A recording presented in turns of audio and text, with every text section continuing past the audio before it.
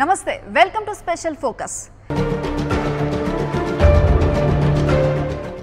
హిందువులు రాముణ్ణి పూజిస్తారు ముస్లింలు అల్లాను ఆరాధిస్తారు క్రిస్టియన్స్ జీసస్ను ప్రార్థిస్తారు. కానీ ఏ కులం మతం వాళ్ళైనా చేతులెత్తి మొక్కేది మాత్రం ఒక్క వైద్యుడికే. అవును తల్లి జన్మనిస్తుంది. వైద్యుడు పునర్జన్మను ప్రసాదిస్తాడంటారు. కానీ అలాంటి పవిత్రమైన వైద్య వృత్తి ఇప్పుడు నానాటికి దిగజారిపోతోంది. ఏపీలో వైద్య వ్యవస్థకు అవినీతి అక్రమాల క్యాన్సర్ పట్టుకుంది. ప్రైవేట్ ఆసుపత్రుల నుంచి ప్రభుత్వ ఆసుపత్రుల వరకు అంతా డబ్బు గుంజడమే టార్గెట్. శవాలపై చిల్లర ఏరుకునే సిగ్గులేని ఈ వైద్య వ్యవస్థలో మంచి వాళ్ళు లేరని కాదు ఉన్నారు. కానీ ఇప్పుడు మీరు చూడబోయే కథనం తర్వాత ఎంతమంది మంచివాళ్ళు అనే ప్రశ్నలు ఉదయించక మానవు. ట్యాగూర్ సినిమా చూసిన వారందరికీ ఓ సీన్ ఇప్పటికీ గుర్తుండే ఉంటుంది. చనిపోయిన వ్యక్తికి వైద్యం చేస్తున్నట్లు నటించి నమ్మించి లక్షల్లో డబ్బు గుంజాలని చూస్తారు. కార్పొరేట్ వైద్యులపై కార్పొరేట్ ఆసుపత్రుల ధనదాహంపై ఎక్కుపెట్టిన సన్నివేశం అది. ఇలాంటి సీన్లు నిజ జీవితంలో జరుగుతాయా అంటే ఇలాంటి ఘటనలు వెలుగు చూసిన సందర్భాలు కోకొల్లలు. ఇలాంటి అమానుష ఘటనే ఇటీవల విశాఖలో వెలుగు చూసింది. ట్యాగూర్ సీన్ మరోసారి రిపీట్ అయింది. వైద్య వ్యవస్థలో నేటికి జరుగుతున్న అరాచకాలకు కిరాతకాలకు అమానవీయ చర్యలకు అద్దం పడుతోంది ఈ ఘటన. ఇలాంటి ఘటన విశ్వనగరంగా పేరున్న మన విశాఖలో జరగడం విచారకరం. ట్యాగూర్ సినిమాలో వైద్యులు కేవలం కొన్ని గంటలు మాత్రమే శవానికి ట్రీట్మెంట్ ఇస్తారు. కానీ విశాఖలోని పేరొందిన ఈ కార్పొరేట్ ఆసుపత్రిలో వైద్యులమని చెప్పుకుంటున్న ప్రబుద్ధులు మాత్రం ఏకంగా రోజుల తరబడి శవానికి చికిత్స చేసి అడ్డంగా దొరికిపోయారు. విశాఖ మెడికవర్ హాస్పిటల్లో వెలుగు చూసిన దారుణాలు సామాన్యులకు వైద్యుల పట్ల ఉన్న నమ్మకాన్ని చంపేసేలా ఉన్నాయి. వైద్య వ్యవస్థకే కలంకాన్ని తీసుకొస్తున్నాయి. చనిపోయిన వ్యక్తి డెడ్ బాడీకి మూడు రోజుల పాటు ట్రీట్మెంట్ చేశారు ఇక్కడి వైద్యులు. విశాఖకు చెందిన ఓ సిఆర్పిఎఫ్ ఉద్యోగి తండ్రి జానకిరామ్ డయాలసిస్ ఇతర ఆరోగ్య సమస్యలతో సీరియస్ కండిషన్లో కొద్ది రోజుల క్రితం విశాఖ మెడికవర్ ఆసుపత్రిలో చేరారు. జానకిరామ్ కుమారుడు సైనిక విధుల్లో ఉండడంతో ఆయన కోడలు ఇతర కుటుంబ సభ్యులు జాన్ జానకిరామ్ను ఆసుపత్రిలో చేర్పించారు. జానకిరామ్కు వారం రోజుల పాటు ట్రీట్మెంట్ చేశారు మెడికవర్ హాస్పిటల్ వైద్యులు.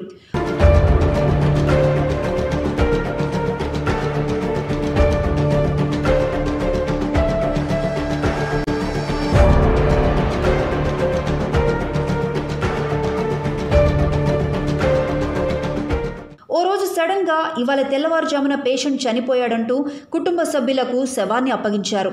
ఇంటెన్సివ్ కేర్లో వైద్యం అందిస్తున్నామంటూ ఏ రోజు పేషెంట్ను చూసేందుకు కుటుంబ సభ్యులను అనుమతించలేదు. ఉన్నట్టుండి చనిపోయాడని పిడుగులాంటి వార్త చెప్పడంతో అనుమానం వచ్చిన కుటుంబ సభ్యులు అసలు వారం రోజులుగా ఏం ట్రీట్మెంట్ చేశారు ఎలా చనిపోయారో చెప్పాలంటూ డాక్టర్లను నిలదీశారు. అయినా వారి నుండి సరైన సమాధానం మాత్రం రాలేదు. అనంతరం కుటుంబ సభ్యులు వివరాలు ఆరా తీస్తే విస్తుపోయే నిజాలు బయటపడ్డాయి. నేను చూడడానికి లోపలికి టూ టైమ్స్ బయటకు పంపించాను ఎవరిని లోపలికి పేషెంట్కి ఇన్ఫెక్షన్ అయిపోతుంది ఇన్ఫెక్షన్ అయిపోతుంది అంటున్నారు కానీ ఒకసారి అండి చూసి వెళ్ళిపోతామని కూడా పంపించట్లేదు? విజిటింగ్ అవర్స్ ఉన్నాయి కదా అప్పుడు చూడండి అప్పుడు వెళ్ళండి. సీరియస్ అయిపోతే అసలు పంపించట్లేదు. లేదు మీరు వెళ్ళండి అన్నారు. ఎనిమిది గంటలకి పది పన్నెండు పదకొండుకి అడిగితే పన్నెండుకి స్టార్ట్ చేశారు. రెండు గంటలకి గంటల్లో ఉన్నారు మనిషి. ఏ క్షణమైనా అయిపోతారు అన్నారు. తొమ్మిది మూడున్నరకి ఫోన్ చేసి ఇది అయిపోయారు అన్నారు. పిలిపించి మూడున్నరకి అయిపోయారు అన్నారు. తర్వాత మళ్ళీ పుష్ చేసి ఇచ్చేసి మాకు కొంచెం కొంచెం ఊపిరి పీల్చుకోగానే ఉంచారు.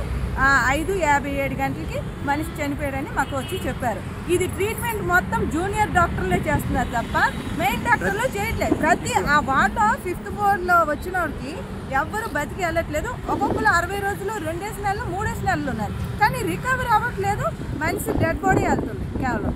మేము చూసి చూసి ఇసిగితే మేము బాగా ఇదే. అవి అడుగుతుంటే వాళ్ళకి కోపాలు వచ్చి మా మీద రివర్స్ ఇదైపోతుంటే మేము అవి కూడా వీడియో తీసుకున్నాము ఆరోగ్యశ్రీ పథకం ఉన్నా హెల్త్ స్కీమ్లు ఎన్నున్నా ప్రజా వైద్యానికి ప్రభుత్వాలు రాయితీలు కల్పిస్తున్నా సామాన్యుడు సైతం ప్రాణం దక్కితే చాలన్న ఆశతో ఖరీదైన కార్పొరేట్ వైద్యం వైపు చూస్తున్నాడు. సామాన్యుడే ఈ బలహీనతను కార్పొరేట్ వైద్య సంస్థలు ఆసరాగా తీసుకొని కోట్ల రూపాయలు దండుకుంటున్నాయి. ఏమాత్రం కనికరం లేకుండా యమకింకరుల్లా ప్రజల్ని పీక్కు తింటున్నాయి. ఈ కార్పొరేట్ మెడికల్ దందాకు కాసుల కకృతితో అధికారులు సైతం అండగా నిలుస్తుండడం ఇంకో దారుణం. చనిపోయిన వ్యక్తి సిఆర్పిఎఫ్ ఉద్యోగికి తండ్రి. కేంద్ర ప్రభుత్వ ఉద్యోగి కాబట్టి వారి కుటుంబంలో అందరికీ సెంట్రల్ హెల్త్ స్కీమ్ వర్తిస్తుంది. దీన్నే విశాఖ మెడికవర్ ఆసుపత్రి వైద్యులు కాసుల పంటగా మార్చుకోవాలనుకున్నారు. ఏకంగా సెంట్రల్ హెల్త్ స్కీమ్కే కన్నం పెట్టేందుకు తెగించారు. వ్యక్తి చనిపోయిన తర్వాత కూడా మూడు రోజుల పాటు వైద్యం చేస్తున్నామంటూ కుటుంబ సభ్యులను నమ్మించి వైద్యానికి అయిన ఖర్చు మొత్తం సెంట్రల్ హెల్త్ స్కీమ్ పథకం నుంచి రాబట్టుకోవాలని చూశారు విశాఖ మెడికవర్ ఆసుపత్రి వైద్యులు.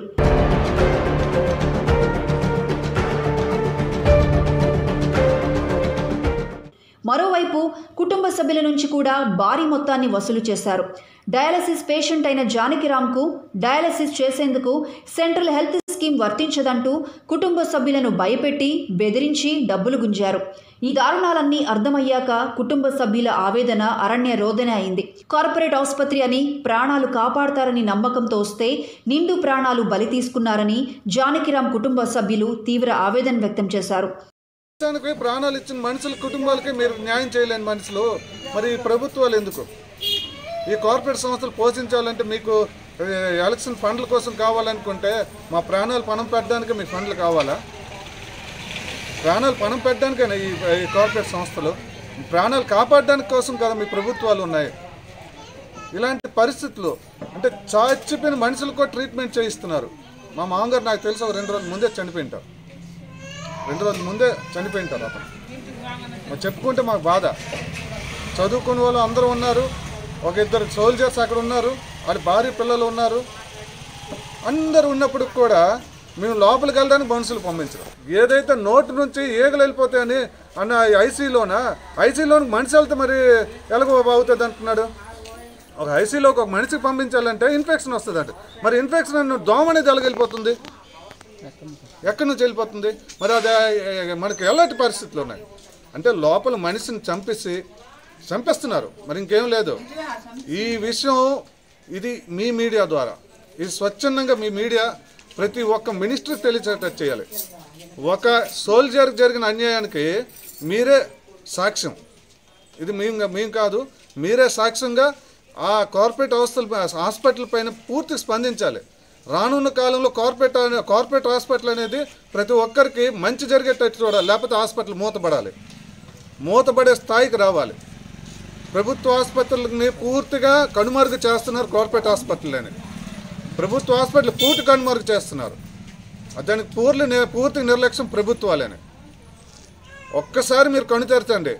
ప్రతి ఒక్కడు బాగుపడతాడు ప్రతి ఒక్కడు ప్రాణంతో బయటకు వస్తాడు. మీ ప్రాణాలు కాపాడినప్పుడే మీరు మీ హాస్పిటల్ కానీ మీ ప్రభుత్వాలు కానీ బాధితులను నైన్టీ నైన్ టీవీ పరామర్శించింది. వారి ఆవేదనను ప్రపంచం ముందుంచింది. వారం రోజుల పాటు ఆసుపత్రిలో వ్యవహారాలను దగ్గరుండి గమనించిన జానకిరామ్ కోడల్ని కదిలిస్తే అన్యాయంగా తన మామయ్యను పొట్టన పెట్టుకున్నారని విలపించారామె. జూనియర్ డాక్టర్లతో వచ్చిరాని వైద్యం చేయించి బలి తీసుకున్నారంటూ ఆవేదన వ్యక్తం చేశారు. కేంద్ర ప్రభుత్వ ఆరోగ్య పథకం నుంచి డబ్బులు స్వాహా చేసేందుకు శవానికి మూడు రోజుల వైద్యం చేశారని తెలియచేశారు. అలానే రెండు రోజులు అబ్జర్వేషన్లో పెడతాము. తర్వాత చూసి చేస్తాము. ఒకవేళ అబ్జర్వేషన్లో మెడిసిన్తో తగ్గిపోతే మెడిసిన్తో చేస్తాము. లేదంటే సెజర్ ఇది ఆపరేషన్ చేస్తాము అన్నారు. కానీ రెండు రోజులకి మూడు రోజులు చేశారు. అతనికి తెలివి ఉంది మనం చెప్పింది వినేవారు ఏడ్చుకొని కళ్ళు తుడుచుకుండేవారు అన్నీ చేసేవారు. కానీ నర్సులు సరిగ్గా పట్టించుకోకుండా అతని బెడ్ నుంచి సైడ్కి వెళ్ళిపోతుంటే మేము అడగడము ఇవి చేయడం వల్ల ఆ మరస్ట్ రోజు బుధవారం మరస్ట్ రోజు ఏం చేశారంటే వాళ్ళు అతనికి ఇది పెట్టాలి వెంటిలేషన్స్ పెట్టాలనేసి నోటి నుంచి గొట్టం పెట్టారు. అప్పటి నుంచి అతను కదలడము ఏటి లేదు మామూలు కదిలారు. అయితే ఏమి సరిగ్గా ఇది అవట్లేదు మొత్తం ఇంజక్షన్ వేసాము అతనికి సరింగ్ సరిగ్గా ఉండట్లేదని అవన్నీ లాక్కుంటున్నాడని సై ఇది చేసాము అన్నారు. తమకు కేంద్ర ప్రభుత్వ ఆరోగ్య పథకం ఉన్నా డయాలసిస్ చేసేందుకు డబ్బులు కట్టి తీరాల్సిందేనని పీడించారని డబ్బులు కడితేనే డయాలసిస్ చేస్తామని బెదిరించారని ఆఖరికి డబ్బులు కడతామన్నా డయాలసిస్ చేయకుండా నిండు ప్రాణాన్ని పొట్టన పెట్టుకున్నారని ఆవేదన వెల్లబుచ్చారు. నాలుగో రోజు వచ్చి ఇన్ఫెక్షన్ అన్నారు. ఇన్ఫెక్షన్ తీయాలి వెంటనే మీరు ఇక్కడ హోల్ చేయాలి దానికి మీరు సంతకం పెట్టండి అంటే మేము చేసాము ఇన్ఫెక్షన్ తీశారు. మా మొన్న ఏం చెప్పారంటే నిన్న ఏం చెప్పారంటే కిడ్నీ ఇన్ఫెక్ట్ ఎఫెక్ట్ అయింది. దానికి వెంటనే డయాలసిస్ చేయాలి అన్నారు డయాలసిస్ చేస్తే మా డయాలసిస్ చేస్తుండ కూడా చచ్చిపోవచ్చు అన్నారు. అయితే సరే చేయండి అంటే మాకు డయాలసిస్ కోసము అమౌంట్ కట్టమన్నారు. అయితే సరే ఎంత అవుతుందంటే డయాలసిస్ ఎనిమిది గంటలు పట్టచ్చు పది గంటలు పట్టచ్చు గంటకు వెయ్యి రూపాయలు లెక్క కట్టండి అన్నారు. అయితే సరే ఎంత ఎన్ని గంటలు అనేది కొనుక్కున్నాడు కదా అక్కడ బంగారు రాజు అతను అన్నాడు ఇది ఎన్ని గంటలకి ఎన్ని గంటలు అవుతుందంటే ఏదో కొనుక్కొని లోపలికి వెళ్ళి వస్తానన్నాడు. లోపలికి వెళ్ళిన తర్వాత గంట వరకు రాలే అతను. ఇది కనుక్కొని రానాడికి ఎంతసేపు అని నేను వాచ్మెన్ కన్నా నేను వెళ్ళండి గంట వరకు ఇంక రాలేదు. అది ఏం ఆపరేషన్ ఏంటి డయాలసిస్ ఏంటి అది కొనుక్కొని రానాడికి ఎంతసేపు అంటే వాళ్ళు పిలుచుకొని వస్తే వచ్చాడు అమ్మ ఇది ఎనిమిది గంటలు పది గంటలు పడుతుంది మీరు పేమెంట్ చేయండి ఈ సామాన్ తీసుకుని రండి మెడిసిన్ ఇది ఆయుష్మాన్ బాబు కార్డుకి వర్తించదు అన్న. ఇప్పటిదాకా డయాలసిస్ ఏం చేయలేదని నేను వాదిస్తే అప్పుడు పన్నెండు గంటలకి వాళ్ళు డయాలసిస్ పెట్టారు. రెండు గంటలకు వచ్చి మనిషి చనిపోయారు అని చెప్తున్నారు గంటల్లో ఉన్నారన్న. మూడున్నరకు వచ్చి మనిషి చనిపోయారు అని మూడున్నరకి వెళ్ళి చూసి వచ్చిన తర్వాత మళ్ళీ అన్నారు పుషింగ్ ఇవన్నీ చేస్తే కొంచెం ఊపిరి వచ్చింది. తర్వాత ఐదు గంటలకు వచ్చి చచ్చిపోయారు అని చెప్పారు మూడు రోజుల క్రితమే మనిషి చనిపోయినా ఆ విషయం తమకు చెప్పకుండా ఎవరిని లోపలికి అనుమతించకుండా డెడ్ బాడీకి వైద్యం చేశారని వైద్యులంతా కలిసి నటించి మమ్మల్ని మోసం చేశారని కన్నీటి పర్యంతమయ్యారు. దేశ రక్షణ కోసం అహర్నిశలు పాటుపడే సైనికుని కుటుంబానికే రక్షణ లేకుండా పోయిందని మృతుడి జానకిరాం కుటుంబ సభ్యులు బంధువులు వాపోయారు. ఆయుష్మాన్ కార్డు ప్రధానమంత్రి యోజన దాని రిగార్డింగ్స్లో మాకు ఈ మా ఫాదర్ హాస్పిటల్ అడ్మిట్ చేసాం ఎంకేసీ హాస్పిటల్ హైదరాబాద్. బరంపూర్లో ఫస్ట్ అడ్మిట్ చేసాం చేశాక వాళ్ళు ఏం చెప్పారంటే అతనికి ఇక్కడి నుంచి తీసుకొని వెళ్ళి విశాఖపట్నం న్యూరో సర్జన్ చూపించాను అయితే న్యూరో సర్జన్ చూపిస్తానంటే మేము మెడికల్ హాస్పిటల్ తీసుకెళ్ళాం. మెడికల్ హాస్పిటల్లో అతనికి ట్రీట్మెంట్ అవ్వాల్సింది సెలెక్ట్ అయింది అతనికి. కానీ అతనికి న్యూమోనియా అటాక్ అయిందని చెప్పారు. తర్వాత డయాలసిస్ చేయాలని చెప్పారు. అన్నిటి మేము సరే అని చెప్పి కాకపోతే పేషెంట్ వాళ్ళ యొక్క రెస్పాన్సిబిలిటీ సరిగ్గా లేదు. ఒక మనిషిని ఒక ట్రీట్మెంట్ చేసే విధానం సరిగ్గా లేదు. ఇది మా మొక్కలకే కాదు అక్కడ చాలామంది ఉన్నారు. అక్కడ మీరు ఆ ఫ్లోర్కి వెళ్ళి ఆ లోపల మీరు చెక్ చేస్తే మీరు స్టింగ్ కట్ చేస్తే మీకు చాలా దొరుకుతుంది లోపల. చాలామంది యాభై రోజుల నుంచి నలభై రోజుల నుంచి ముప్పై రోజుల నుంచి హాస్పిటల్లో ఉన్నారు. ట్రీట్మెంట్ ఏం అవ్వట్లేదు. మొత్తం ఫ్లోర్ పైనుంచి కింద తిప్పుతున్నారు అంతే తెప్పించి ధనదాహంతో డబ్బే పరమావధిగా విశాఖ ప్రజల రక్తం తాగుతున్న మెడికవర్ ఆసుపత్రి ఆగడాలపై పలువురు ఆగ్రహం వ్యక్తం చేస్తున్నారు. డెడ్ బాడీలకు సైతం ట్రీట్మెంట్ ఇస్తూ కేంద్ర ప్రభుత్వ ఆరోగ్య పథకం డబ్బులు స్వాహా చేస్తున్న మెడికవర్ ఆసుపత్రి యాజమాన్యంపై చర్యలు తీసుకోవాలని డిమాండ్ చేస్తున్నారు. సెంట్రల్ హెల్త్ స్కీమ్కే కన్నం వేస్తున్న జూనియర్ డాక్టర్లతో వచ్చిరాని వైద్యం చేయిస్తూ ప్రజల ప్రాణాలతో చెలగాటమాడుతున్న మెడికవర్ యాజమాన్యంపై సంబంధిత అధికారుల చర్యలు ఏవంటూ సామాన్యులు సైతం ప్రశ్నిస్తున్నారు. అధికారులను రాజకీయ నాయకులను మచ్చిక చేసుకొని దందా కొనసాగిస్తున్న ఈ కార్పొరేట్ భూతానికి వైద్య వ్యవస్థల నీరుగారినతనానికి సామాన్యుడు బలైపోతున్నాడు. ప్రాణభయంతో అప్పులు చేసి ఆస్తులు అమ్ముకొని లక్షలు కుమ్మరించినా చివరకు మిగిలేది ఇదేనా? దక్కేది చావేనా? అన్న భయాలు ప్రజల్ని వెంటాడుతున్నాయి. విశాఖ మెడికవర్ ఆసుపత్రిలో ఇంతటి వికృత దారుణం వెలుగు చూసి పది రోజులవుతున్నా సంబంధిత అధికారులు ఎలాంటి చర్యలు తీసుకోకపోవడం పలు అనుమానాలకు తావిస్తోంది. ఈ నేపథ్యంలోనే తాజాగా విశాఖ జిల్లా వైద్యాధికారి కార్యాలయంలో ఏసీబీ ఆకస్మిక తనిఖీలు నిర్వహించడం సంచలనంగా మారింది. విశాఖ మెడికవర్తో సహా జిల్లాలో దారుణాలకు పాల్పడుతున్న పలు కార్పొరేట్ ఆసుపత్రులపై బాధితులు ఎప్పటి నుండో ఆగ్రహంగా ఉన్నారు. ఏకంగా శవాలకే ట్రీట్మెంట్ చేస్తూ ఖజానా నింపుకుంటున్న మెడికవర్ అక్రమాలు వెలుగు చూశాక ఆ ఆగ్రహం కట్టలు తెంచుకుంది.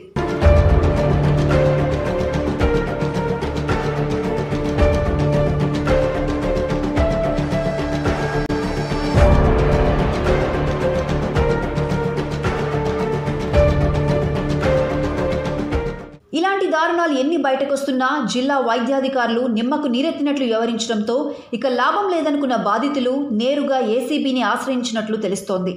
ఎవరి అండ చూసుకొని బడా కార్పొరేట్ ఆసుపత్రులు ఇలాంటి దారుణాలకు బరితెగిస్తున్నాయో నిగ్గు తేల్చాలంటూ ఏసీబీకి ఫిర్యాదులు అందించినట్లు తెలుస్తోంది. తాజాగా విశాఖ డిఎంహెచ్ఓ కార్యాలయంలో ఏసీబీ ఆకస్మిక తనిఖీలు నిర్వహించింది. ఆరోగ్య శాఖ కార్యాలయంలో ఏవో సుమతిని ఏసీబీ అధికారులు విచారించారు. జిల్లా వైద్య శాఖలో జరుగుతున్న అక్రమాలపై అవినీతి నిరోధక శాఖ కార్యాలయానికి వరుస ఫిర్యాదులు వస్తున్న తరుణంలో వాటిపై సమగ్ర విచారణ చేయడం కోసమే ఈ తనిఖీలు చేపట్టినట్లు తెలుస్తోంది. డిఎంహెచ్ఓ కార్యాలయంలో సోదాలు నిర్వహించిన ఏసీబీ అధికారులు వివిధ విభాగాల్లో ఉన్న ఫైళ్ళను పరిశీలించారు. ప్రస్తుతం ప్రాథమిక దర్యాప్తు జరుగుతోందని ఫిర్యాదులపై అన్ని కోణాల్లోనూ దర్యాప్తు కొనసాగిస్తామని ఏసీబీ అధికారులు వెల్లడించారు. చూశారుగా ఇది పరిస్థితి. అవినీతి చేసే వాళ్ళు ఒకరైతే దానికి దర్జాగా కొమ్ము కాసేవాళ్ళు మరొకరు. ఇలా ఉండబట్టే రోజు రోజుకు మనుషులపైన నమ్మకం కోల్పోయే పరిస్థితులు వస్తున్నాయి ప్రాణాల్ని కాపాడే వాళ్ళే డబ్బులకు ఆశపడి ప్రాణాలు తీస్తుంటే ప్రశ్నించాల్సిన అధికారులు నోటికి బ్యాండేజ్ వేసుకుంటే ఇక వ్యవస్థకు ట్రీట్మెంట్ చేసే డాక్టర్ ఎవరు? వైద్య వృత్తిలో అడుగంటుతున్న విలువల్ని నిలబెట్టి వైద్య వ్యవస్థలను ప్రక్షాళన చేసి తమ ప్రాణానికి భరోసా ఇచ్చే అండ కోసం నేడు సామాన్యుడు ఎదురుచూస్తున్నాడు.